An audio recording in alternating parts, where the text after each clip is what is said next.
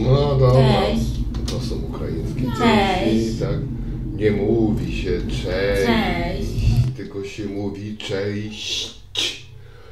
No ale to, to są zgłoski, których tak samo ja mam problemy z tańskim językiem, no nie potrafię wymówić pewnych słów, ale dobra. Cześć.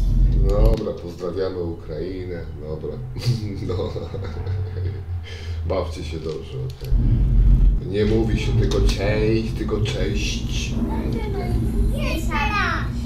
Cześć. O, muszę to wyłączyć. Cześć.